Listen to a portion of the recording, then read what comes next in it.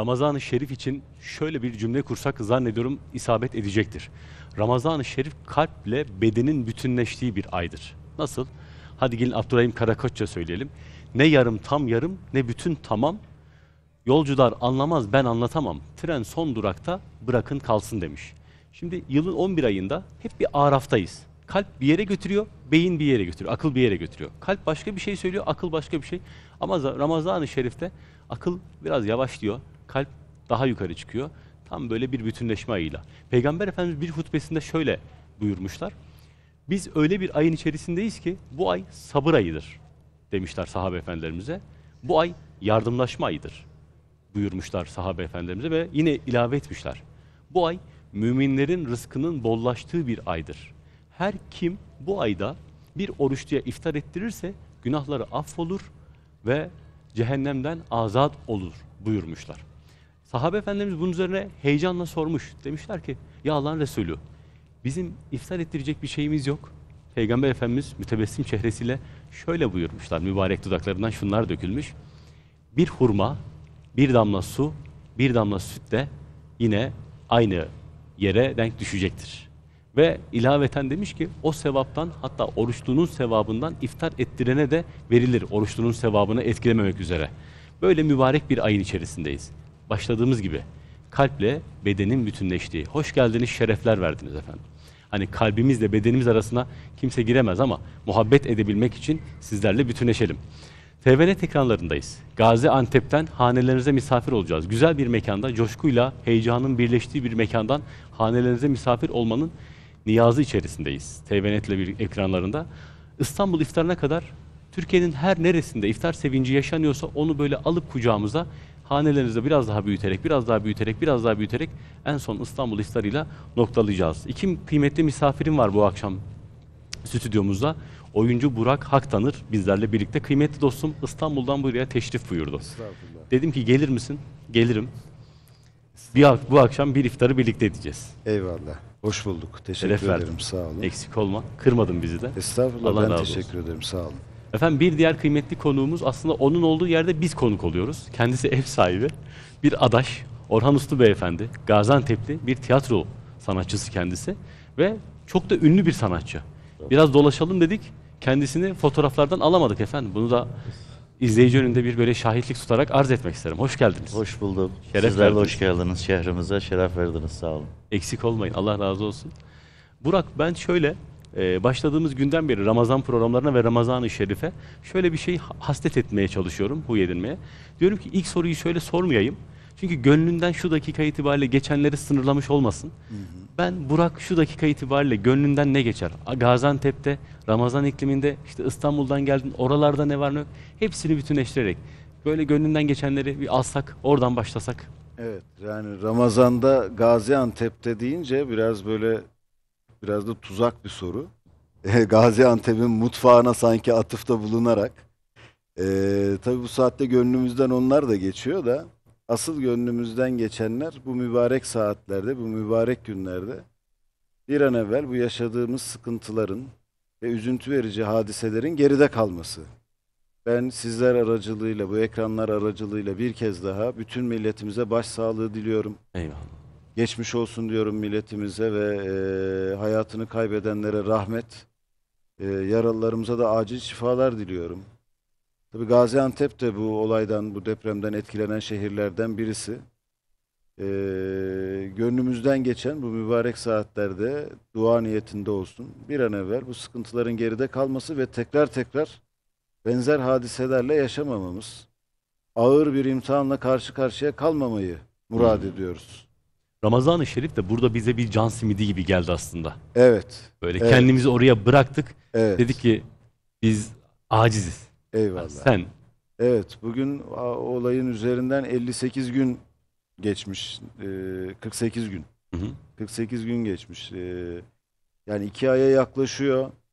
Zaman çabuk geçiyor ama bir de e, birebir yaşayanlara sormak lazım. İşte Orhan Bey burada bizzat e, ve diğer e, şu an salonda bulunan kameraman arkadaşlar yani burada Antep'in yerlisi olanlar birebir yaşadılar.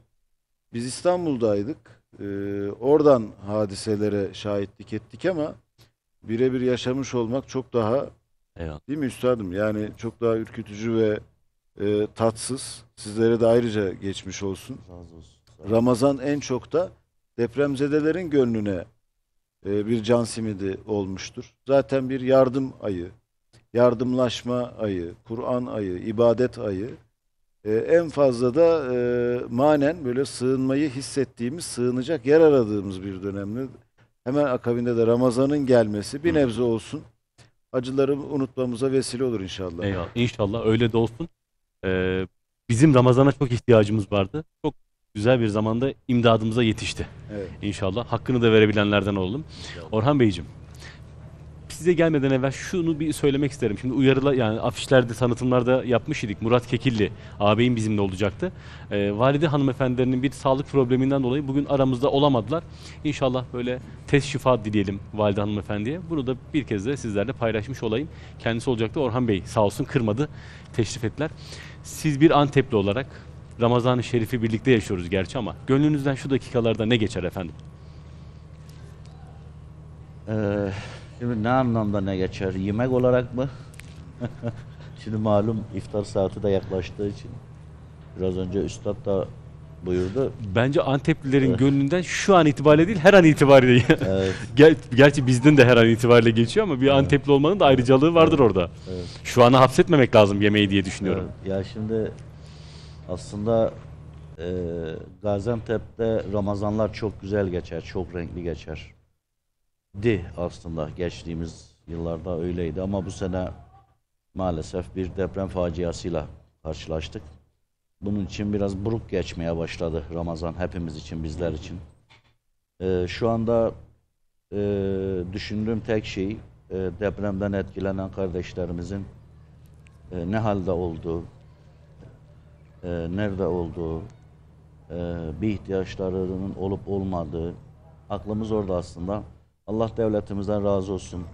E, mesela biz Gaziantep merkez olarak e, pek etkilenmedik depremden ama ilçelerimiz Nurdağ, İslahiye e, maalesef çok kötü etkilendi. E, orada çok güzel e, konteyner e, kentler oluşturuldu. Ee, Biz de haftada iki gün, üç gün oraya gidip e, kardeşlerimizi ziyaret edik ama bence benim şu an aklım orada yani işin açıkçası. Allah nasip ederse de işte önümüzdeki günlerde oraya bir tiyatro gösterisi için geçeceğiz. Oradaki kardeşlerimizin yüzüne bir tebessüm kondurmaya. Şu da benim için önemli. Siz aynı zamanda çocuklarla çok ciddi temas halindesiniz. Evet, evet. Burada da e, Ramazan Sokağı yapıldı. Masal Park'ta ve akşamları her akşam burada etkinlikleriniz var. Evet. Özellikle Islahiye, Nurdağ taraflarından ya da işte buralardaki çocuklardan gözlemlediğiniz şey nedir? Çocuklarla temas ettiğinizden. Aslında gözlerinde şey şu, aslında çocuklarımız daha tam olarak o- olayın ne olduğunu farkında değiller. Hmm. İşte çocuk, çocuk dünyası. Ee, çocuklar evet çok etkilendiler ama ee, biraz ee, toparlanma konusunda ee, bize göre daha hızlılar. İyi ki de öyleler. Yani iyi ki böyleler evet. Yani yetişkinler biraz bazı şeyleri e, kabullenmeleri uzun zaman alır ama çocuklar e, yani bir, bir oyuncak verirsin hemen o psikolojiden uzaklaşır. Hemen kendini başka bir dünyanın içerisine atabilir. Ama e, yetişkinler öyle değil tabii ki. Yetişkinler daha farklı. E, bir de sorumluluğun omuzlarına vermiş olduğu yükü de hesaba katarsak yetişkinlerin daha farklı yaşar. Ama çocuklar ee, çocuklarla ilgili mesela e, şeye İslahiye çok güzel bir e, çadır kurulmuştu. Çocuk oyun alanı e, kurulmuştu. Biz de gittik oraya çocuklarla beraber oyun oynamaya gittik. Şöyle bir baktım ki çocuklar o psikolojiden bir uzaklaşmışlar. Yani normal hayatın içerisine dahil olmuşlar.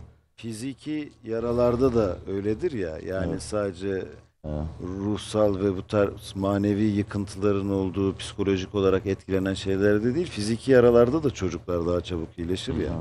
Yani bir büyük bir yerden düştüğünde belki bir yeri kırılabilir ama çocuk kalkar, üstünü başını temizler, devam eder. Yani tabii bir çocuğun e, Allah göstermesin eli kırıldığında çok çabuk kaynar. Evet. Ama yetişkinin bir yeri kırıldığı zaman çok zor bir zaman Evet. alır. Çok uzun bir zaman alır kaynaması. O yüzden çocuk olmak her zaman için bir avantaj. E tabii ki böyle çok büyük acılar yaşamış çocuklarımız da var. Onların da e, bazı şeyleri unutması da zaman alacaktır. E, inşallah hep beraber İnşallah. Ee, omuz omuza verip yaralarımızı saracağız. Biraz önce de buyurdunuz. ee, yardım ayı Ramazan diye. Aslında bizim ülkemizde biz bu deprem süresinde şunu gördük. Bizim yılın her günü Ramazanmış bize ya. Yani öyle bir birliktelik, öyle bir beraber öy- beraberlik ee, yaşadık ki ülke olarak hatta dünyanın çeşitli bölgelerinde de. Bunu şöyle müsaade buyurursanız biraz başlıklandırmak istiyorum. Bu benim için önemli. Sanki biz yılın her günü Ramazan gibi yaşıyormuşuzu fark ettik. Yani biz kendi kodlarımızı fark ettik. Bir cümle duymuştum. Diyor ki milletler diyor, büyük milletler diyor, başlarına gelen bir buhranda, afetlerde mevzuya atalarının gözünden bakarlar. Yani senin baktığın gözle aslında atalarının gözü aynı. Buradan şöyle bir benzetme yaptım ben. Teşbihte hata olmasın ama deprem ve 6 Şubat'ta yaşandığında tüm Türkiye'nin bir anda kenetlenmesini aslında biz Çanakkale'de de görmüştük. Evet. İşte götürelim tam Malazgirt'e kadar Evet. bütün merhalelerde. Çünkü niye? İşte bir başımıza afet geldi ve biz dönüyoruz hep atalarımızın gözünden bakıyoruz. Bu kodları zannediyorum ne güzel ki, ne mutlu ki değiştiremeyecekler. Ve değiştirmeyeceğiz de. Çok şükür. Ne dersin Burak sen bu konuyla alakalı? Yani evet müminler bir e, bedenin uzuvları gibidir diyor ya Peygamber Efendimiz. Herhangi bir uzuvda bir rahatsızlık, bir problem, bir sıkıntı olsa bundan bütün vücut etkilenir. Hı E, ayağımızda bir yara oldu mu e, vücudumuzun diğer bölgeleri bundan bana ne diyemiyor. Biz de öyleyiz. Evet, bütün vücut onun sıkıntısına ortak oluyor, derdine ortak oluyor. Ben toplumumuzu da bu şekilde görüyorum. Şöyle yapalım mı? Bir virgül koyalım. Buyurun. Bir VTR'ye gitmemiz lazım. Hay Çünkü hay. güzel gidecek muhabbet. Belli oradan açılacak. Hiç bölmüş olmayayım sonra. Efendim bir VTR'miz var. Onu izleyelim sonra bu bizim hep böyle durmadan durmadan ve durmadan hiç de değişmesin inşallah. Bin yıldır bu topraklardaki bu yardımlaşma hasleti nerelerden geliyor? Biraz onun derinlerine inelim. Ya Ramazan'la beraber. Bir VTR. Benim köylüm oraya tek tekerle çıkar diyorsun. Hadi bakalım. Başla. Hadi bakayım. Abici. Merhaba. Kişisel bakım ürünleri getirdik özellikle. Benim ya da bizim derman olabileceğimiz. Gel güzelim. Ah gel. Burada. Oh teşekkür ederim. Her şey şükür. Varım yanımda. Allah'a şükür değil mi?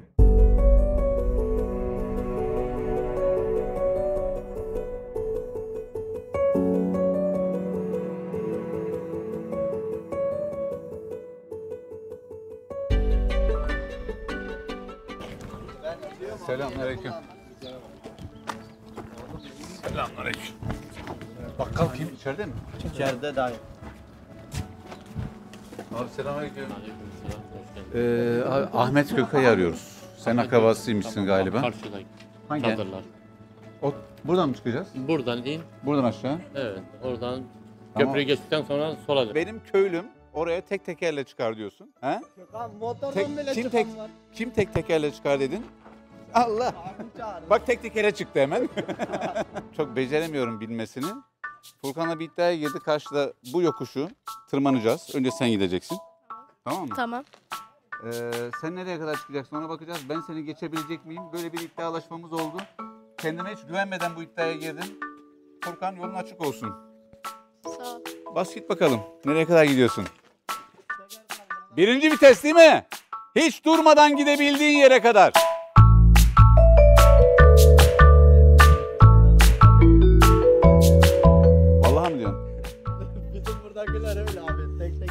Çıkan çe- var. keçi gibi desene hepsi.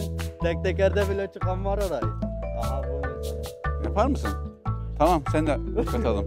Tamam al bul bisikletini. Ya yeter be oraya kadar çıkamam ben zaten Furkan. Tamam dönebilirsin. Vallahi çıktı dediği yere kadar ya. Furkan ben deniyorum şimdi. Sen de arkamdan seslenebilirsin istersen bu mikrofon tamam mı? Hadi bakalım.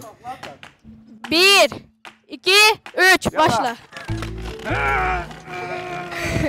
Şu an başladı.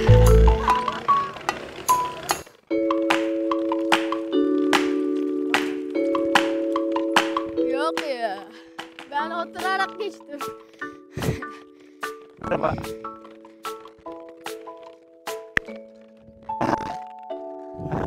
Geçemedi yok geçemedi.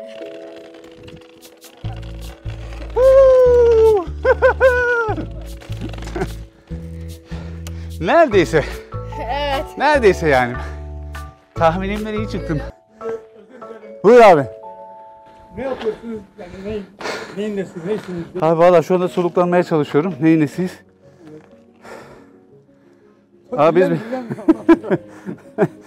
Furkan harcadın beni. Abi biz dinlemeye geldik. Herkes bir şeyleri biliyor, görüyor, takip ediyoruz ama hoş bulduk Allah razı olsun. Şimdi burada bir Ahmet abimiz varmış. Onun hikayesini dinlemeye gidiyoruz. Bir çocukları göreceğiz. O arada senin hikayen, ablamın hikayesi, Furkan'ımın hikayesi dinlemek istiyoruz. Derdimiz o. Dinleyeceğiz, anlatacağız. Bizden bir isteğiniz var mı ya? Halk, halk olarak yani. Allah olarak. Abi onu diyoruz. De- zaten tebessümü var ya bizim milletin bu tebessümü, muhabbeti, senin muhabbeti, kardeşlerimin. Diyoruz ya yıkıntıların arasında hani şu cehennem girdabının içerisinde bile öyle bir dışarıya uzanan bir tebessümümüz var ki yeterli o. Arkadaşlarım teşekkür ederim. Hoşça kalın. Teşekkür ederiz. Elinize sağlık, ayağınıza Hoşça kalın. Allah'a emanet olun. Siz de Allah'a Hadi bakalım. Furkan'cığım görüşürüz. Hoş geldiniz. Hadi bakayım. Hadi bakayım. A, B de bakayım. B, C de bakayım. C, A, B, C. abici. Tamam oldu. Sen yol göster abi bize. Artık evde kalmıyorsunuz değil mi? Evde kalmıyorsunuz değil mi? Yok. Abi cennet gibi yerdesiniz. Abi çok şükür. İnşallah Çok şükür. tez zamanda Millet- toparlarsınız ha. Millet göçtü gitti. Biz buradayız, malımızdayız. Valla. Yukarıda çadırda mısınız? Burası hepsi çadır. Herkes akraba mı? Evet, aile. Ha? Aile 52 kişiyiz. 52 kişi. Evet, çoluk çocuk 52 kişiyiz. 52 kişi. Nerede burada 52 kişi var mı şu anda? Bazıları bahçede, bazı... İşte bak ben Merhaba. cizmemi giymişim. Ahıra gideceğim daha. Ya dur ben de daha yeni bir çiftlikten geliyorum. Çizmem, tulumam hepsini çıkardım. Evet. Koyun, kuzu ne ararsan var üzerimde.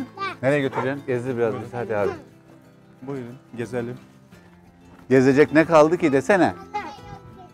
Allah büyük. İnşallah kaldığımız yerden Devam. daha devam ederiz. Çadırları kendiniz mi temin ettiniz, getirdiler mi? Yardımseverler geliyor, dağıtıyorlardı. Dağıtım yapıyorlardı. İşte birer tane verdiler kendilerine. Bak evlerimiz burada. Bunlar hepsi yıkılacak. Hepsi kalacak. Evet. Şu üç tane bina yan yana yıkılacak mı? Aşık mı oldun? Hayır, amcamın kızı. Bir de teyzemin kızı. Aile Yani içinde ne diyorsun. kadar e, bize e, şey söylediler. Gidip tahlil bile yapmadım. Artık olan olmuş. Şimdi berabersiniz değil mi sizden? Hepiniz burada yaşıyorsunuz şu anda yani. Senin kaç tane oğlun var abi? Üç mü dört mü? Benim dört tane özürlü oğlum var. Evet, dört Bir tane sağlam. Beş tane oğlum var. Evet. Benim çocuklarımı ta Ankara'ya kadar götürdüm. E, sonuç alamadım. En büyük oğlan? Yok. Bunlar 300 bak. Bir, iki, bir tane daha var. 300 hem de. 300 hem de Ne bunlar. haber evet. kardeşim? İyi kardeşim. Selamlar olsun. Aleyküm. Evet, iki tane tek Adın tek neydi? var. Aykut. Baban çok yakışıklı senin ya maşallah. Sen de öylesin. Babana çekmişsin sen ya. Hadi beraber gezelim o zaman. Hadi. Gel kardeşim benim. Gelin.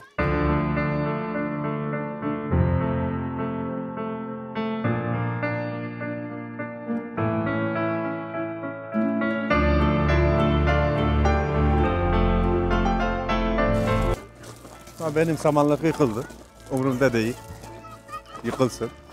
Ama hayvanlarıma bir şey olmadı. Çocuklarıma bir şey olmadı. Çok Allah'a şükür abi yani. Ev inşallah yeniden toparlarsın. Yemde biraz sıkıntı çektim ama çok şükür yine buldum. Hep beraber el sallayalım helikopterlere. Gelin buraya gelin. Bravo. Görmediler ya, görmediler. Şimdi abi kendimizce elimiz boş gelmeyelim istedik. Sadece kuru bir selamla kalmasın. Yukarıda biraz erzağımız var. Canı sağ olsun. Ver abi. Gör, görmemiz yeter. Abi ben aranıza geçeyim ya.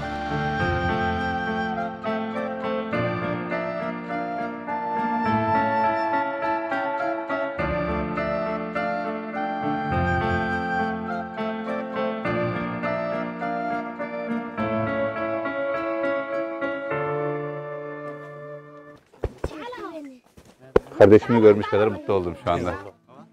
Ne haber abiler? Neyimiz vardı abi şimdi? Şimdi gıda kolilerini getirdik. Ee, gıda kolisinin içerisinde Ramazan ayında tüketebilecekleri bakliyatlar var. Yağından tutun da salçasına kadar birçok bakliyat ürünü var. Ee, onun dışında kadınlar için e, normal temizlik ürünleri getirdik. Kişisel Hah. bakım ürünleri getirdik özellikle. Şahane o zaman. Abi hijyen paketleri herhalde ablalarımızın evet, çok isteyeceği bir şey burada. Deterjanlar da var içerisinde temizlikte kullanabilecekleri. Ee, onun dışında battaniye getirdik havalar soğuk olduğundan dolayı. Ee, çocuklar için de meyveli sütler getirdik. Abi ne olsunuz bu, bu şeyler sadece elimiz boş gelmek istemedik. Allah razı olsun. Ya hani de, eee devletimizden de getiren de götüren de. Allah razı olsun. Bir, kimse burada bir şey hani bir teşekkür için gelmiyor. Biz teşekkür etmek için geldik aksine. Şu muhabbete, şu kelama bizi nasip ettiğiniz, dahil ettiğiniz için açıkçası. En azından çocuklar bir sütleri içsinler ya. Bir verelim bari. Ne diyorsunuz? Sütlerini getirelim. He? Sütleri alalım Araç o biraz zaman. aşağıda kaldı. Tamam bir sütleri almaya gidelim. Hocam, Hatice Onun teyzemizin içine hasta bezlerini de getirdik. Hasta Ha. bezi Aynen. alabiliriz. hasta bezlerimiz de var. Biz o zaman bir Hatice teyzemizin yanına uğrayalım. Merhaba. Arabanız da güzelmiş ha. Sarı sarı. Müsait mi Hatice teyze? He, müsait. Buyurun. Elhamdülillah. Elhamdülillah. Allah düşürmesin. Amin. Amin. Kaç yaşında teyze? 94. Oy maşallah. Ee, Ee, ee, maşallah. De- devrilmeyen çınarlarımızdan Hatice anamız. Allah razı olsun. Bir şeye ihtiyacı var mı? Getirebileceğimiz istediği bir şey var mı? Benim hiçbir şey istemez. Elhamdülillah var der çok şükür. Her Hiçbir şey var, şeye değil mi? ihtiyacım yok. Her şey Çocuklarım şükür. yanımda. Şükreden Allah'a şükür değil mi? Bir ufak tefek paketlerimiz var. Bir, onları bir dağıtalım yavaştan en azından çocuklara. Olur mu şimdi? Tamam abi olur. Ee, Aklınıza bir şey de gelir gene ihtiyaç duyduğunuz bir şey. Siz söyleyin bari. Hatice anam söylemez siz söyleyin bize. Tamam. Tamam. Hadi Allah'a emanet. Sen hasta mısın yoksa? Tamam. Yok. Ve aleyküm selam. Oğulları söylüyor. Allah razı olsun. Allah razı olsun. Selam olsun. Görüşürüz çok sağ inşallah. olun. Hayırlı iftarlar. Ne olsun çok selam. Mustafa abiye de çok selamlar tekrardan. Görüşürüz. Sağ olun. Allah'a Görüşürüz yolunuz açık olsun. İyi ki varsınız be. Vallahi gururumsunuz ya. Bunlar var ya kral kral. Bu gidenler bunlar. Hadi açalım. Ha bak sütler burada bak.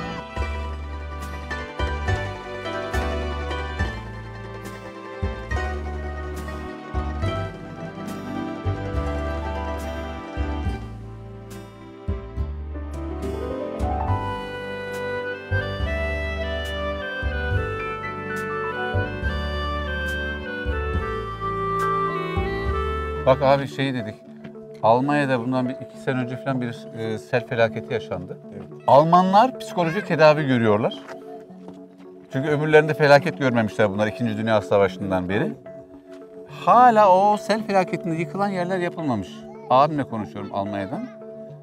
Ya biz de en azından hani insanımız, devletimiz, siyasilerimiz, sanatçılarımız bir şey yapmaya çalışıyorlar ama e, şu dertteyiz. Ya yapıyoruz da acaba hakikaten bunun devamlılığı, sürekliliği var mı? Getirebiliyor muyuz? Tamam oğlum Bizim gönderiyorum. derdimiz de o oluyor şu anda abi. Sizin gibi insanlar var ki Allah'a şükür.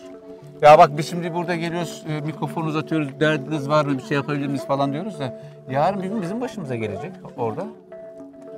Ha bu şekliyle gelmez, başka şekliyle gelir. O zaman İnşallah hiç gelmez. ben sana gelmiştim diyebileceğim en azından. Ya onlar bize gelmişlerdi. Evet, Biz de onlara gideceğiz diyecek. En azından bir fırsatı, bir hakkı, sözü bırakalım insanlara. Derdimiz de hakikaten o abi, birlik olmak olsun yani. Var mı bir eksiğim, gediğim bir sürü var tabii ki. Benim ya da bizim derman olabileceğimiz bir şey var mı artı? Herkes içeceğim paketi diyor genelde de. Var mı senin aklına gelen? Giyinme, şey. Giyinme değil mi ağırlıklı? Ya hakikaten hiç şu anda alışveriş yapabileceğimiz, üstümüze başımıza bir şey alabileceğimiz hiçbir yer yok yani. Yok. Sen bir şey diyecek misin son? Yok. He? Yok. Hiçbir şey demeyeceksin mi? Gidiyorum ben. İşte benim masörüm geldi ya. Güle güle. He? Gel güzelim. Ah gel. Burada bak. Oh teşekkür ederim. Uzun ince bir yoldayım Gidiyorum gündüz gece Bilmiyorum ne haldeyim Gidiyorum gündüz gece Gündüz gece Gündüz gece Gündüz gaha Allah'a emanet olun inşallah. gaha güle. Hoşça kal kardeşim benim. Ahmet görüşürüz. Yetişmek Abi. için menzile gidiyorum gündüz gece gündüz gece gündüz gece gündüz gece heyecanı yaşanıyorsa orayla birlikte olduğumuzda arz ederiz. İki kıymetli misafirim var. Burak Haktanır oyuncu ve Orhan Uslu tiyatro sanatçısı. Bu akşam iftar sevincini birlikte yaşadığımız iki kişi. Şimdi her akşam Islahiye'den canlı bağlantı yapıyoruz. Malumunuz Bekir Mert orada bizim e, sözümüz oluyor, sesimiz oluyor, nefesimiz oluyor, gözümüz oluyor. Ve orada e, bu akşam inşallah Islahiye'de ne var ne yok diye kendisine bir soralım istedik. Bekir Mert, Islahiye'de ne var ne yok? Nasılsın? Orası nasıl?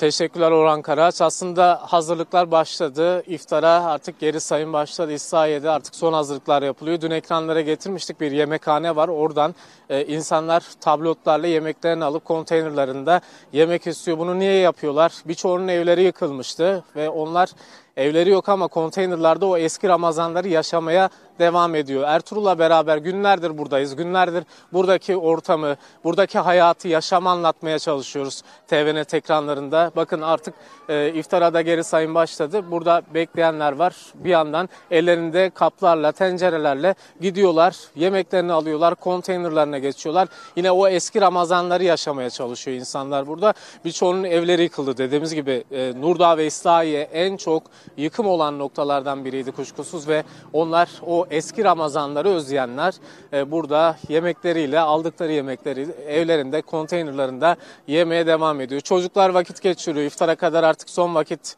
geçirdiklerini söyleyelim. Eğlenceli vakitler geçiyor ki oyun alanları da kurulmuştu bulunduğumuz konteyner kentte. Ertuğrul'la beraber yürüyelim. Fatma Nur e, Biraz daha gidelim. Aslında şunu söylemek istiyorum. Günlerdir bölgedeyiz. 6 Şubat'tan beri o enkazların başında saatlerce beklemiştik. Enkazdan kurtulanlar bize umut olmuştu. Onlardan kurtulan bir e, aileyi aslında tanıştıracağım sizlerle. Ertuğrul'la beraber şöyle gidelim. Bir yandan onlar Fatma Nur Kala 13 yaşında, İrem Kala kardeşi 11 yaşında. Onlar enkazın altından çıktılar. Burada İslahiye'de enkazın altından çıktılar. İkisi kurtuldu. İkisi hayatta annesini babasını kaybettiler. Burada amcaları onlara yardımcı oluyor. Onlarla da konuşacağız bir yandan. Ee, Selamünaleyküm. Müsait misiniz? Hayırlı Ramazanlar. Komşulu, komşuluk ilişkileri yine devam ediyor burada konteynerde. Ertuğrul'la beraber şöyle ben çıkarayım ayakkabımı misafiriniz olalım. Hayırlı akşamlar, hayırlı Ramazanlar. Hayırlı Ramazanlar. Geçmiş olsun. Nasılsın? İyiyim, teşekkür ederim. Herhalde eee, bir sıkıntı var enkazdan çıktıktan sonra değil mi? Yok. İşte leğen kemiğim kırık. İşte platin takılı.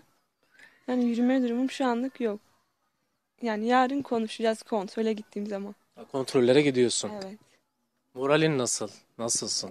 İyiyim. Ramazan nasıl geçiyor burada? İyi geçiyor. Canım sıkılıyor ama hala iyi geçiyor. Siz eee, sanıyorum 5 saat değil mi? 5 saatte. 5 saat gibi bir sürede kalmışlar e, kaz altında. İşte 5 saat sonunda annem rahmetlik çıkarıyor. Biri sağ kolunda, bir sol kolunda. Abime teslim Alayım ediyor. abi seni şöyle gel. Ökeş abime teslim ediyor ikisini. Ee, annem arabaya biniyor. iki dakika sonra o da ruhunu teslim ediyor. Ya biz nereye dokunsak, nereye adım atsak o yine ilk günleri hatırlıyoruz. Ee, 6 Şubat'tan beri o enkazların başlarında biz de bekledik bir umut. Çıkanlar bize umut oldu. Fatma Nur da öyle. Bizim umudumuz oldu çıktıktan sonra. İşte Bir şekilde yaşama tutunmak me- gerekiyor. Mecbur, mecbur. Me- Hayat devam ediyor. Yaşama tutunacağız işte.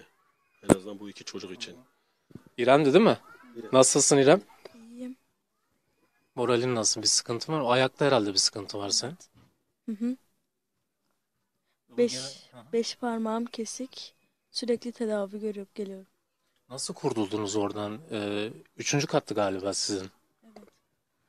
Üçüncü kattı. Ee, bizi zaten bizim şeyler kurtarmıştı. Akrabalarımız falan vardı. Onlar kurtarmıştı hep. Sanırım e, babaannen miydi? Bir yanınızdaydı o gün.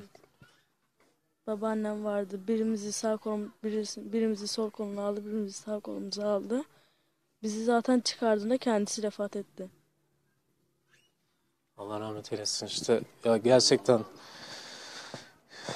ilk günleri hatırlıyor insan. İnşallah bundan sonra tedavi sürecine güzel şeyler olacak değil mi? İnşallah Allah'ın izniyle inşallah inşallah devam ediyor. Ee, tedavi süresince de şu an şurada da yardım eden çok oldu. Başta Fatma Şahin olmak üzere. Allah ondan razı olsun. Allah onu evlatlarına bağışlasın artık öyle diyeyim. Annem rahmetlikle de onun bir macerası vardı. Tabii ben yurt dışında kaldığım için tam onu şey yapamıyorum. Fatma Şahin bunları Antep'e da- da- davet ediyor. Bu çiftçi hanımlar ilgili bir e, e, toplantı yapıyor. Annem de oraya gidiyor. Yani gü- güzel bir şey olmuştu onunla. Rahmetli onu da anlatıyordu. Yani çok severdi. Bundan sonrası güzel olsun çocuklar İnşallah, için. inşallah, Hayırlı Ramazanlar Hayırlı olsun size. Ramazanlar, sağ olun. Ayaklarınıza sağlık. Allah razı olsun. Evet, aslında e, en çok bizi etkileyen noktalar bu dolaştığımız konteynerlardaki hikayeler, hayatlar aslında. Burada Ramazan bir şekilde devam ediyor. Onlar şimdi son hazırlıkları yapıyorlar ki enkazdan 5 saat, 5 depremden 5 saat sonra kurtulan iki kardeşimizle o günü biraz konuştuk. E, onlar toparlanmaya çalışıyor. Daha da iyi olacaklar inşallah diyelim. Söz yeniden buradan size bırakalım.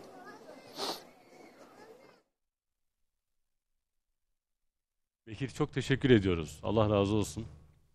Hani dertleriyle dertleneceğiz diyeceğiz ama o bile yeterli değil. İnşallah şu vakitlerin hürmetine Rabbim sabrı cemil niyaz etsin. Orada bulunan bütün depremzedelere, yakınlarını kaybedenlere sabrı cemil versin.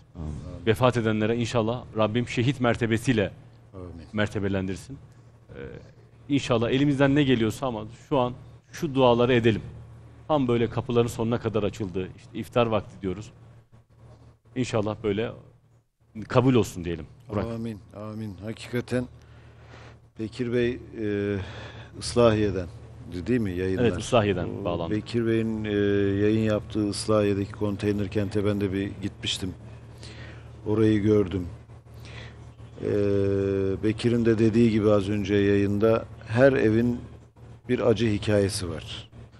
Her ev bir yakınını kaybetmiş, bir akrabasını kaybetmiş, evini kaybetmiş, işini kaybetmiş.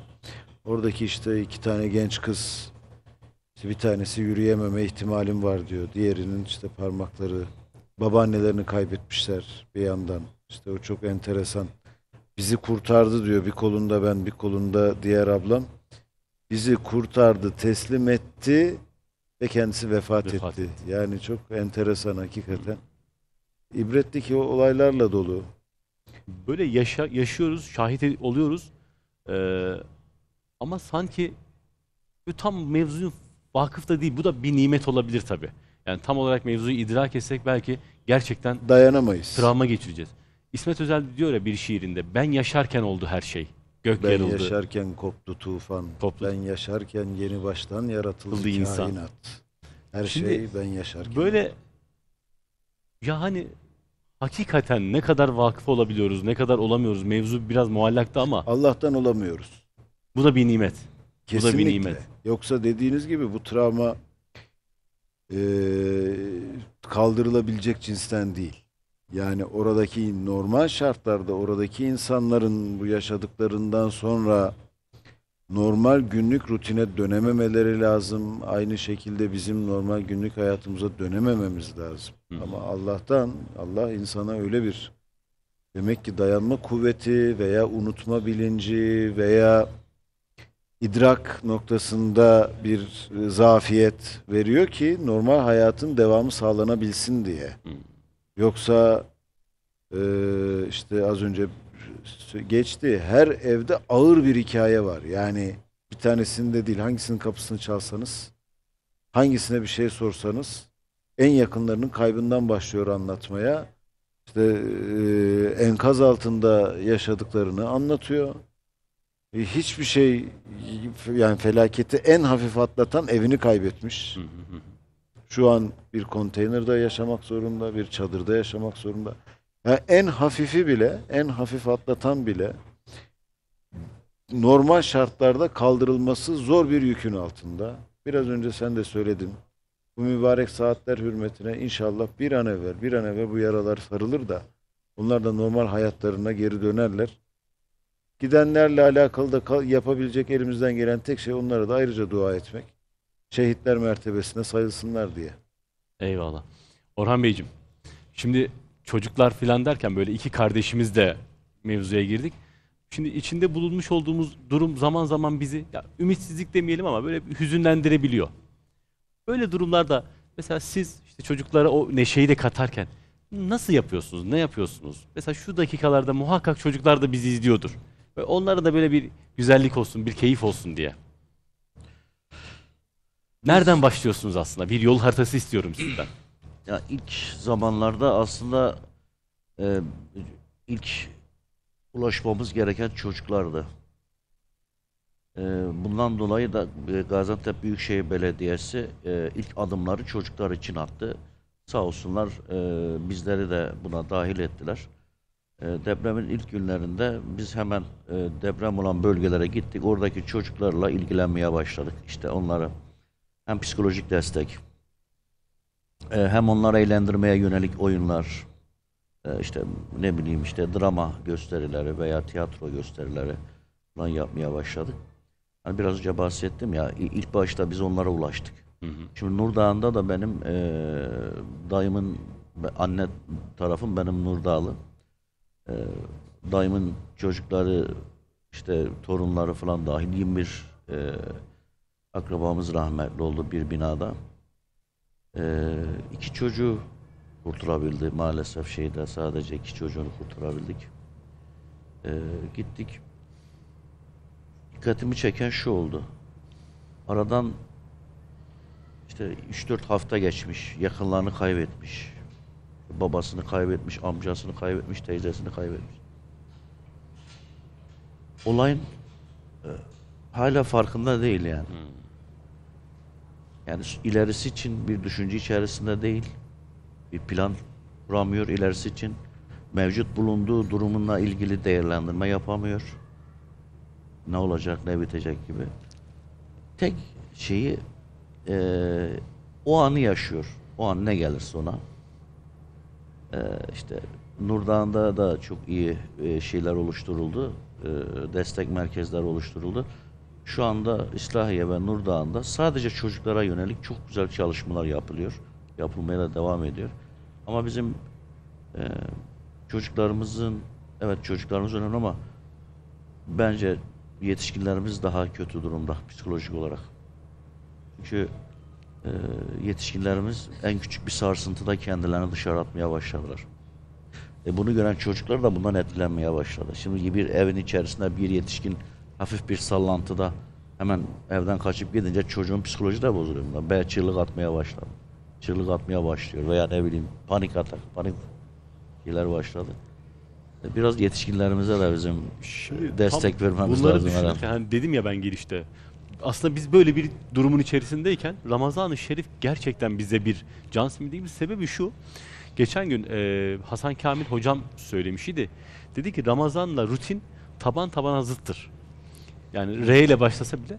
Şimdi düne kadar bir rutinimiz vardı ve bu rutinin içerisine içerisine deprem bölgesinde yaşananları da koyabilirdik. İşte 6 Şubat'tan beri. Yani rutin bozuluk ama öyle ya da böyle biz bir acıyla yaşamaya Evet. başladık. Ama Ramazan gelince en azından kalbimizdeki, aklımızdaki gündemi de ona göre bir değiştirdi.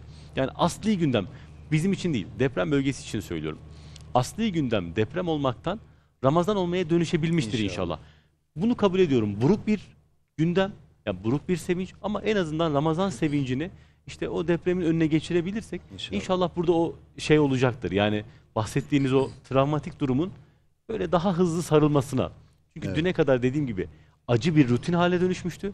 Bugün o rutini bozan bir Ramazan-ı Şerif bir şekilde meydan okuyor acıya. Ben onu şöyle örneklendireyim izninizle.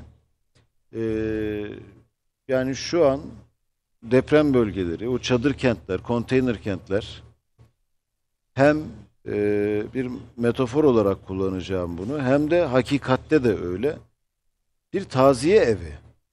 Eyvallah. Yani o deprem bölgesi, o çadır kentler bir taziye evi. Bizim kültürümüzde taziyelerde şöyle bir şey vardır. İşte ilk günler yalnız bırakmazlar taziye evini ki biraz acılarını dindirebilsin, acılarını paylaş, paylaşsın insanlar diye. Ne zaman ki taziye evi boşalmaya başlar, insanlar el ayak çekmeye başlar, o evde kalanlar acılarıyla ne zaman baş başa kalır, orada kaybın Ne oldu? büyüklüğünü daha hissederler. O yüzden bizim mümkün olduğunca oralardan elimizi çekmememiz lazım. Ee, bu ziyaretlere ara vermememiz lazım. Sürekli gidilmesi lazım. Yani bir anda yoğun bir ilgi alaka oldu. O duygusallıkla en büyük endişeleri oradaki dostlarımızın, kardeşlerimizin ki birçoğundan ben benzer şeyler duydum. Abi dedi Allah razı olsun geliyorsunuz, geliyorlar. Türkiye'nin dört bir tarafından geliyorlar. Her meslek grubundan geliyorlar. Her yaş grubundan geliyorlar. E, kimisi gelirken imkanları nispetinde bir şeyler getiriyor. Kimisi sadece sohbet edip biraz moral vermeye geliyor. Bu, de- bu dedi bizim için mükemmel bir şey. Ki çok özür diliyorum. Lütfen buradan devam edelim. Bu sadece moral vermeye gitmeyi de küçümsememek lazım. Söyle ya- yapıyorsun Tabii, diye değil. Tabii. Çünkü sen bana girişte bir şey söylemiştin. Tamer Karadağlı'nın gidip gittiğinde o depremzedelerin ya biz her şeyi unuttuk şu an. E, Evet, evet. Onu da evet. böyle Biz- hatırlatarak belki. Tabii oyuncu arkadaşlarla biz e, birkaç ziyaret gerçekleştirdik bölgelere.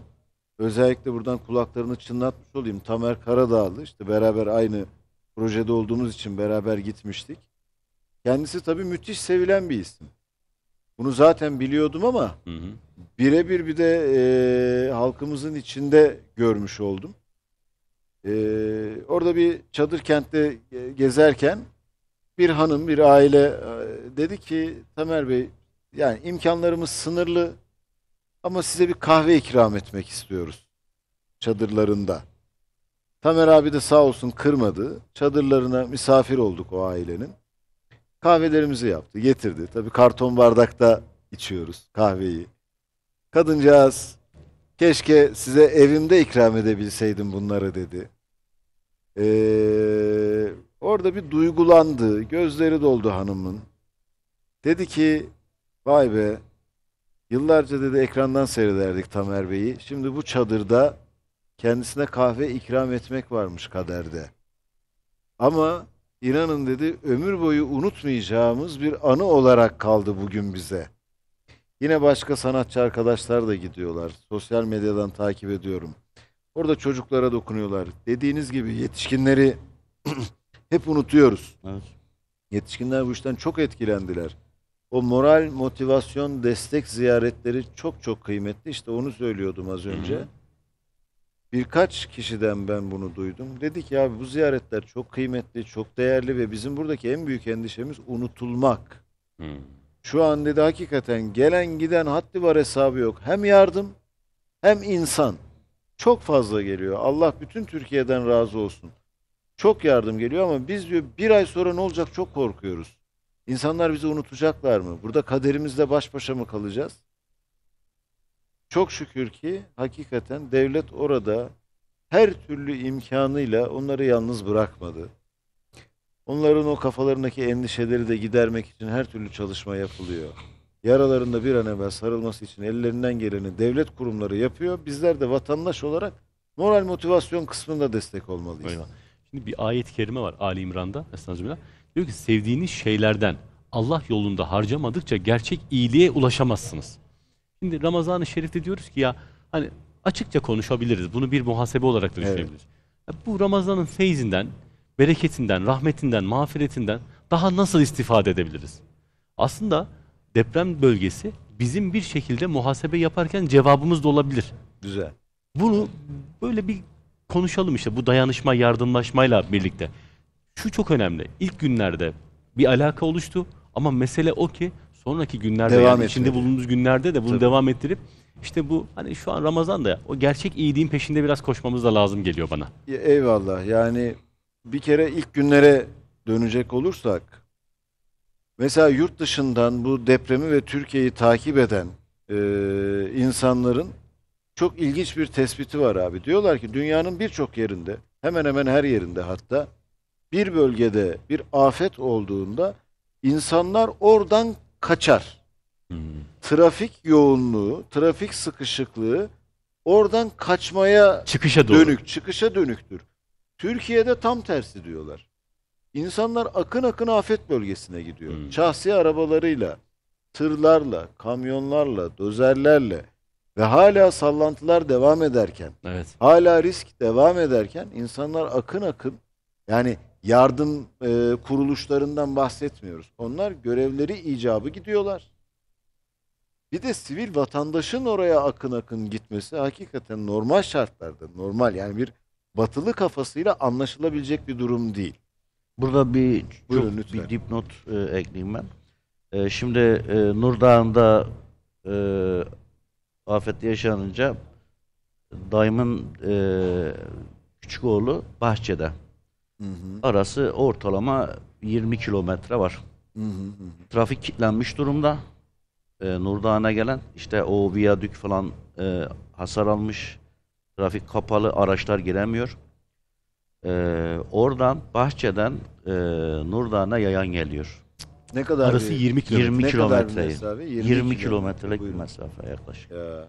Ee, sırf yardıma gitmek için 20 kilometrelik yolu arkadaşlarıyla beraber yayan yürümüş. E, Nur Dağı'na yetişmiş. Yani bahsettiğiniz şey çok önemli. Ee, ilk günden itibaren e, millet hemen oraya akın etti. Elinde imkanı ne varsa. Şimdi e, geçen bir ablayla burada karşılaştık oyundan sonra sohbet ederken o kadar lüks içinde yaşıyormuşuz ki dedi. Ya. Depremden sonra anladık biz bunu.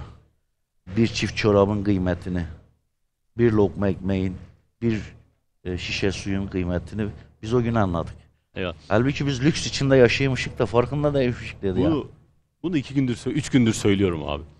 Şimdi Allah insanlara bazı şeyleri bazen rahmetle bazen afetle kıymet bildiriyor. Nasıl? Depremle tam buyurduğunuz yer. Biz nasıl lüks içerisinde yaşadığımızı ve nimetle olan hukukumuzu, hiyerarşik düzeni fark ediyoruz. Aslında bir de bunun rahmet boyutu var. Ramazan. Önümüze şimdi bir bardak su gelse iftar olmadan açamayız. Evet. Aslında nimetin, yani lüksün, konforun biz Ramazan'da da. Zannediyorum insan hani başınıza ne gelirse sizin yaptıklarınızdan mevzusu var ya. Asla kimseyi suçlamak değil. Hepimiz beşeriz ve şaşarız da. Bu rahmet zamanları kıymeti tam bilsek afetler işte tedbiri de bırakmama kaydıyla. Eyvallah. Ya biz Ramazan'da nimetin tam nimet olduğunu fark ettiğimiz gibi 11 aylarda da Evet. yaşasak. Evet, evet. Birbirimizle hukukumuzu Ramazan'daki gibi tutsak. Evet. Zannediyorum o hanımefendinin işte. Şimdi Gaziantep için iftar olacak da ben şunu yapmak istiyorum. Bir Gaziantep e, şivesiyle bizi iftara götürür müsünüz? Bir de VTR'miz olacak. İftara. İftara bizi bir iftara götürün de bir iftar iftar saati mi edelim. geldi? Tabii için. Oo, bayağı. Orhan Beyciğim sizin bu güzel şivenizle. Ee, Antep için iftar saati mi diyek? Şu anda. Antep için iftar saati. Eyvallah. Şu anda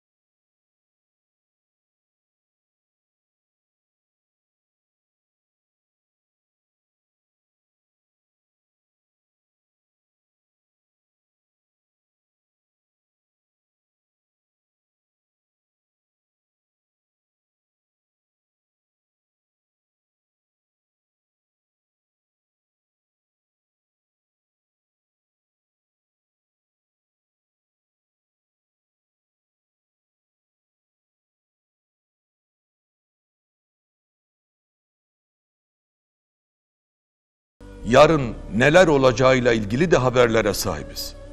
Biz sadece fiziki dünyanın bilgilerine değil, gaybi dünyanın bilgilerine de sahibiz. Yani Allah bizim için lazım olan her ne bilgi varsa tükenmez ilmi arasından süzerek onları bize Kur'an ile Efendimizin sözleriyle indirmiştir. Bu açıdan müminler dünyanın en alim insanlarıdırlar. En hikmetli insanlarıdırlar. En seçkin insanlarıdırlar. İşte bu haberde o seçilmişliğin bir işareti. Düşünün şimdi öldük ve zaman sonra diriliyoruz. Ne olacak acaba? Kim bu bilgiyi bize verebilir? Ne olacak? Bizim için yarınlarda bizi bekleyen neler var bilgisine kim sahip olabilir? Bu sorumuzu kim cevaplandırabilir? Bu sorunun asıl muhatabı Allah'tır. Cenab-ı Hak sonsuz ilminden onlara muttalidir. Ezel ve ebed bilgisine sahip olarak bakın bizleri ahirette ilk hangi sözlerle karşılayacaktır? Şöyle buyurur.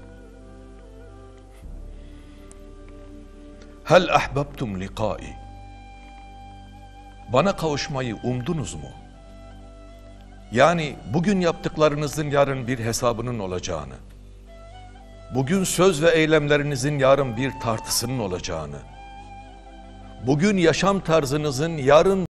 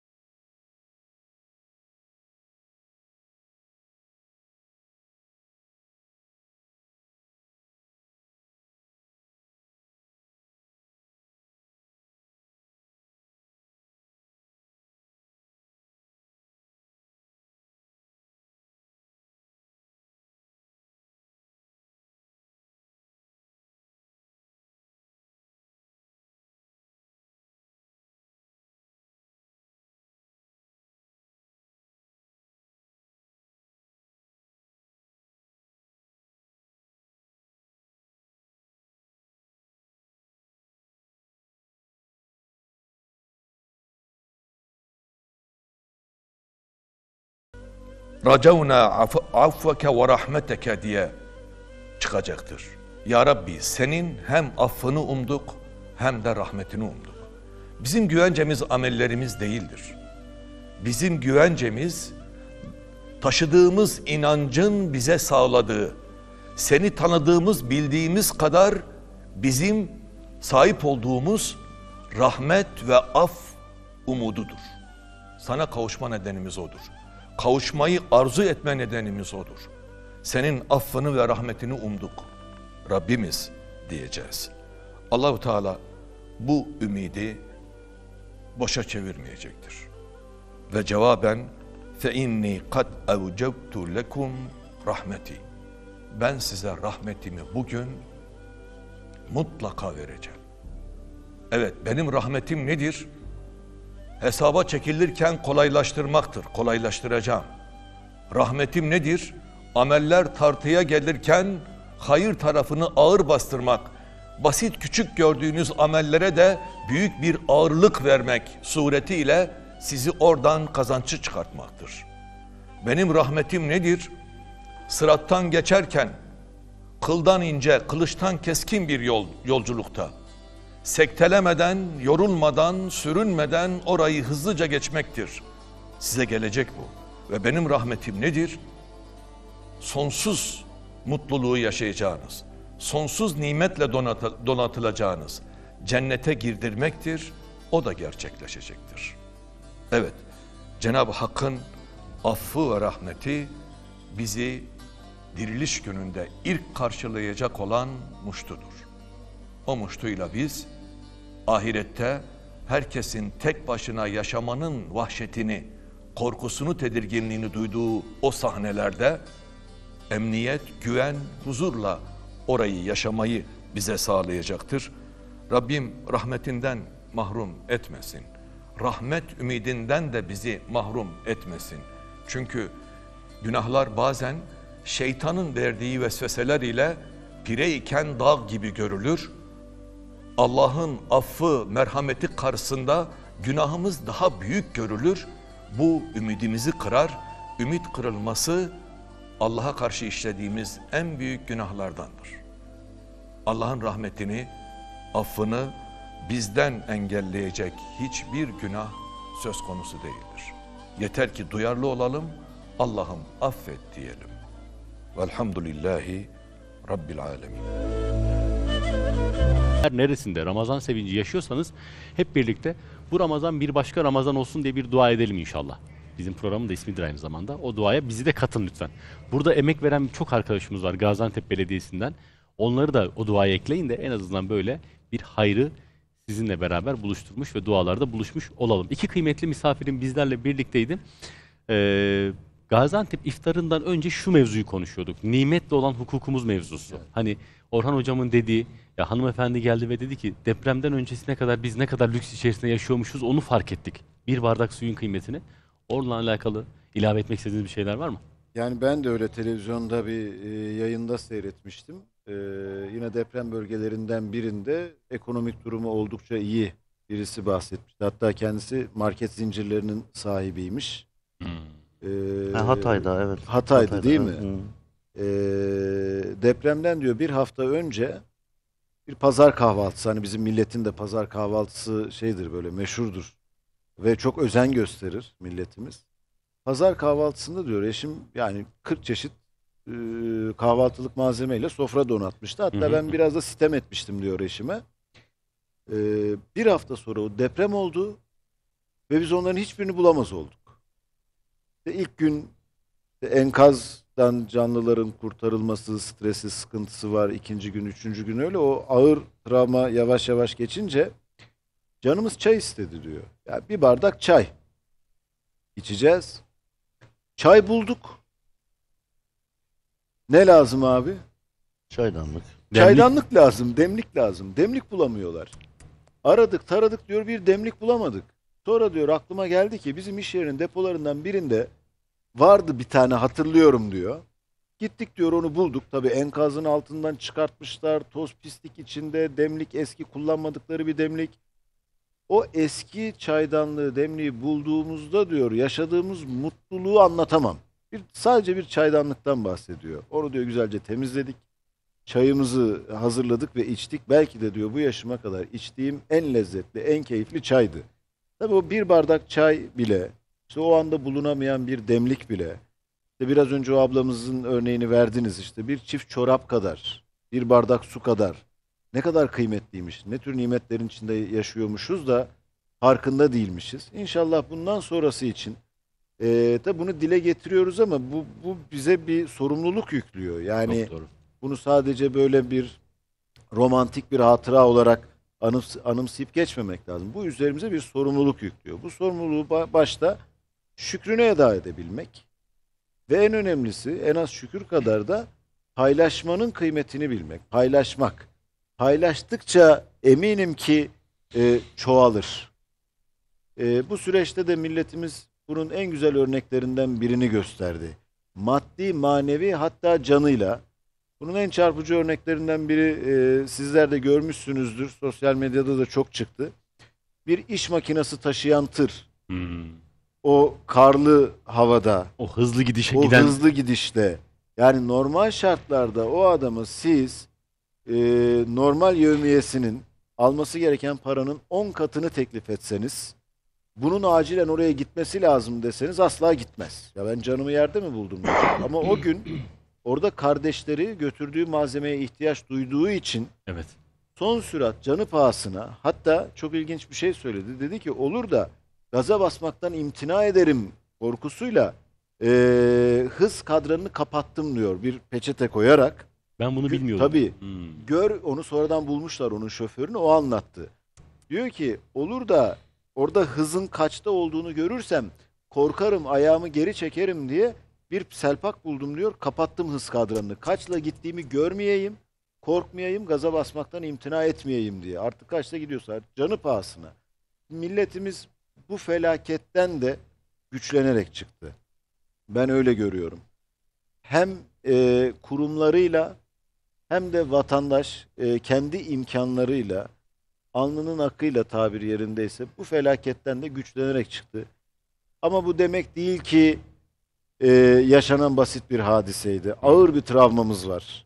Ağır bir travmamız var. Toparlanması zaman alacak. Ben şunu seninle bir konuşmak isterim. Şimdi bu ülke bu felaketten de güçlenerek çıktı söylemi benim için çok önemli bir söylem. İşte karşımda iki sanatçı durur ve biz bu toprağın sanatçılarını özlemle, hasretle, bunu özellikle söylüyorum ama gururla, kıvançla da sahip çıkmak istiyoruz. Sen bunun mücadelesini de veren biri olarak. Bu toprakların sanatçısı olmak, işte bu gittin, o bölgenin size karşı alakasını da görüyorsun. Tamer Karadağlı'ya alakasında. Nasıl bir hissiyat bırakıyor sende? Ya Üzerindeki bor sorumluluğu soruyorum O aslında. sorumluluğu ben depremin ilk günlerinde İstanbul'dan yardım faaliyetlerine katıldığımda gördüm.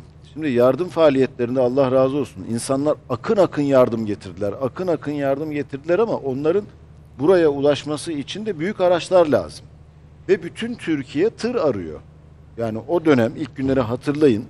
En büyük ihtiyaç Batı illerindeki en büyük ihtiyaç tırdı. Evet. Malzeme çok. O malzemenin bu tarafa getirilebilmesi için tır lazım. Ee, sosyal medya aracılığıyla tır talebinde bulunduk. Şimdi normal şartlarda ben düşünüyorum.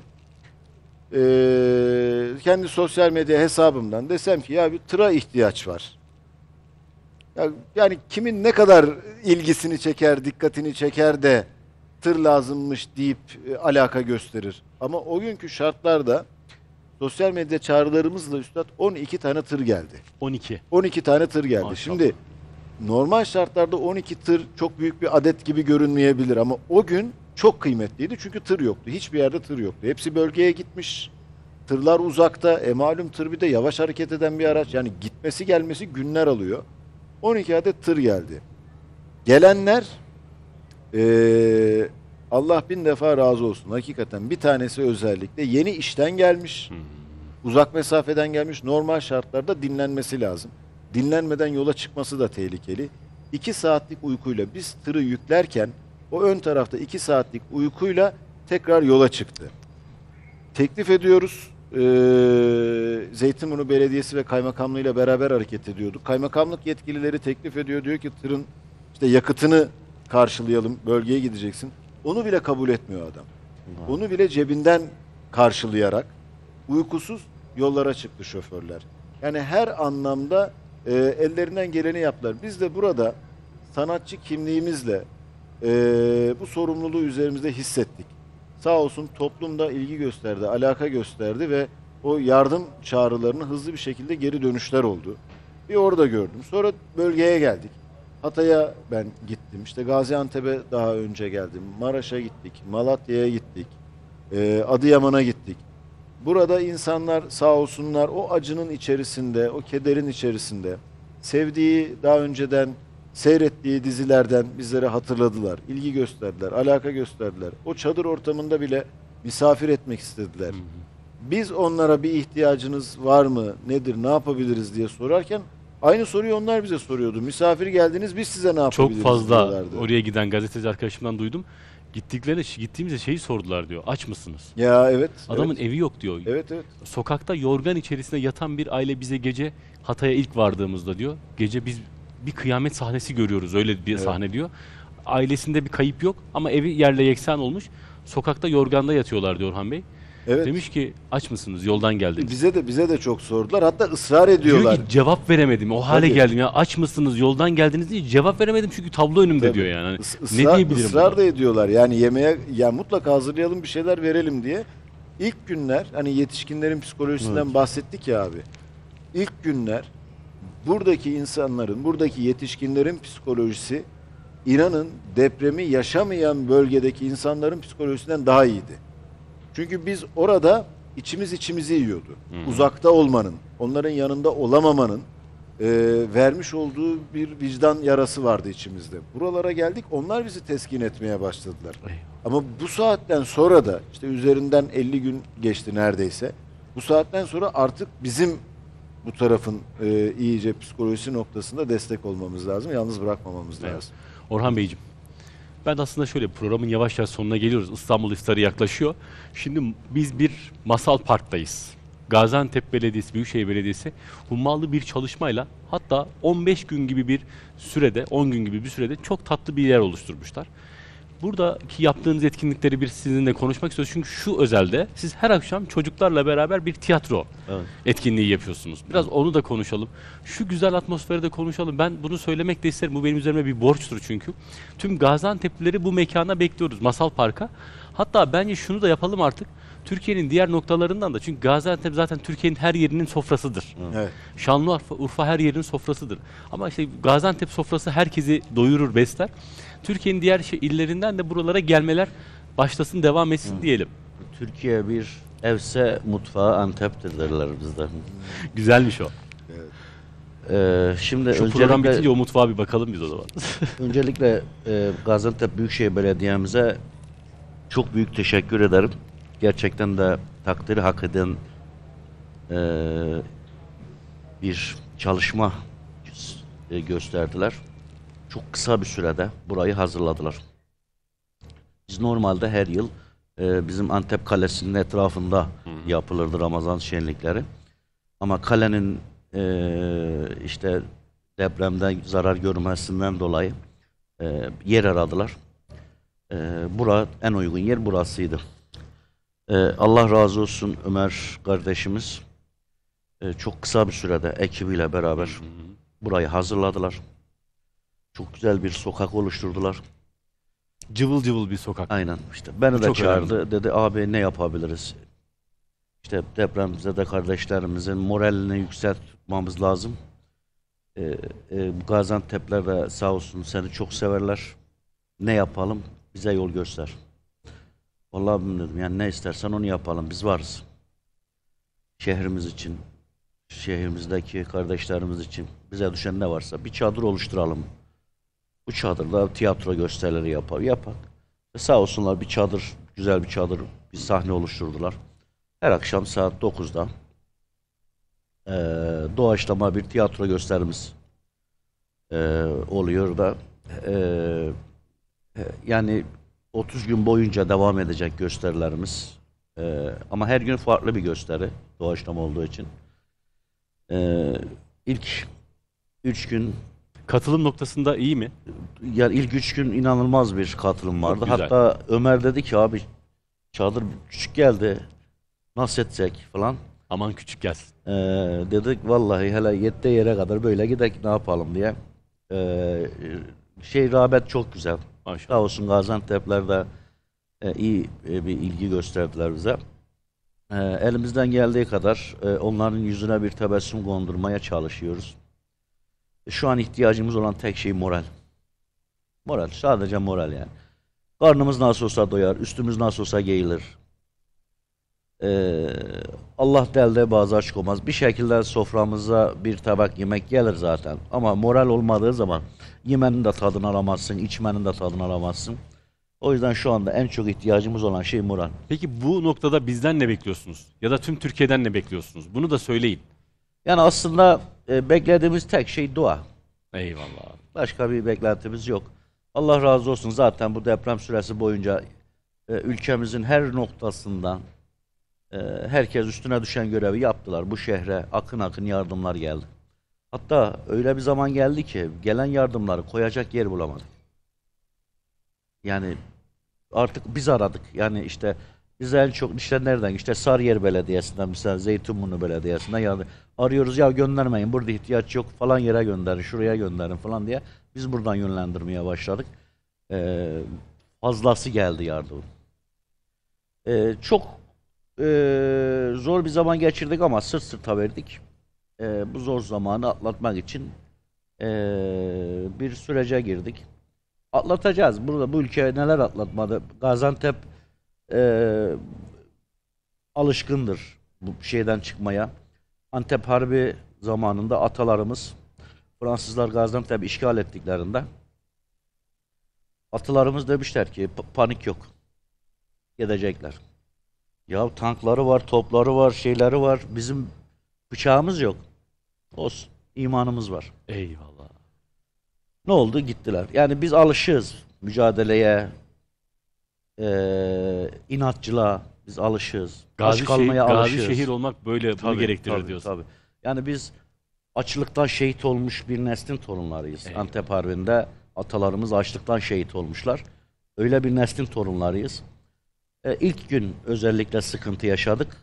E, yeme içme konusunda o ilk günün vermiş olduğu o psikolojiden dolayı. Ama ikinci gününden itibaren, üçüncü gününden itibaren artık e, hiçbir ihtiyacı olan vatandaşımız kalmadı bu şehirde. E, çok nadirdir. Çünkü bir de dağıldı insanlar. E, yardımın bazı noktalara ulaşamamasının sebepleri aslında o. Çok dağıldı böyle insanlar. İstanbul Ondan iftarına dolayı. gideceğiz. Son bir cümle olarak alayım mı? İstanbul iftarını geciktirmeyelim. Bir cümle Ha. olarak belki sizden. E, İstanbul iftar için mi? Yok. Ha. Kapa programın kapanışı. Ha, evet. Gönlünüzden ne geçiyorsa isterseniz İstanbul iftar olsun. Ee, öncelikle buradan bütün Türkiye'de şu an bizi dinleyen bütün dostlarımıza, dünyanın dört bir tarafından dinleyen dostlara bir teşekkür borcumuz var. Gaziantep'ler, daha doğrusu bu bölgede depremi yaşayan e, depremzedeler adına bir teşekkür borcumuz var. Allah hepinizden razı olsun. Ee, bu şehre sahip çıktınız. Depremden etkilenen bütün şehirlere sahip çıktınız. Bizim ülkemizin güzelliğini, ülkemizin insanların güzelliğini bizlere bir kez daha gösterdiniz. Gaziantep'ten hepinize kucak dolusu sevgiler göndereyim. Eyvallah. Burak, süre normalde bitti. Bir cümle alayım mı? Eyvallah. Yani milletimizin başı sağ olsun Cenab-ı Hak bir daha böyle ağır imtihanlarla bizi karşı karşıya bırakmasın. Eyvallah. Kıymetli dostlar, bir bir başka Ramazan programımızın daha sonuna geldik. İftar sevincini birlikte yaşadık. İki kıymetli konuğumla birlikte hanelerinize misafir olduk. Allah kabul etsin İstanbul diyelim. Türkiye'nin neresinde yaşıyorsanız Allah kabul etsin inşallah. Yarınki iftarda görüşmek dileğiyle. Sağlıcakla kalınız efendim.